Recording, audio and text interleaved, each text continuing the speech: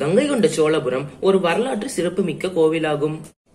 இக்கோவில் ராஜேந்திர சோழனால் ஆயிரத்தி முப்பத்தி ஐந்தாம் ஆண்டு கட்டப்பட்டுள்ளது.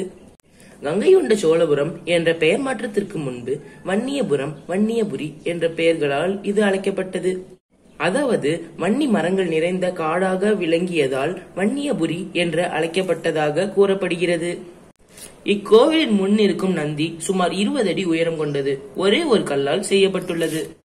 சுண்ணாம்பு கல்லினால் செய்யப்பட்டுள்ளதால் சூரியன் உதயத்திலிருந்து மறையும் வரை சூரியனின் ஒளி நந்தியின் நெற்றியில் பட்டு கருவறையில் இருக்கும் லிங்கத்தின் மீது படும்படி அமைக்கப்பட்டுள்ளது. தமிழகத்திலேயே மிகப்பெரிய லிங்கம் இங்கே காணப்படுகிறது. இக்கோவிலின் கருவறையில் உள்ள சுவர்களில் மரகத கற்கள் பதிக்கப்பட்டுள்ளன. இதனால் வெளியில் வெயில் அடித்தால் உள்ளே குளிராகவும் வெளியில் மழை பெய்தால் உள்ளே கதகதப்பாகவும் இருக்கும் வகையில் கட்டப்பட்டுள்ளது. இக்கோவிலின் கிணற்றின் அருகில் ஒரு சிங்கத்தின் சிற்பம் இருக்கும். சிங்கத்தின் வாயில் ஒரு கதவு தென்படும்.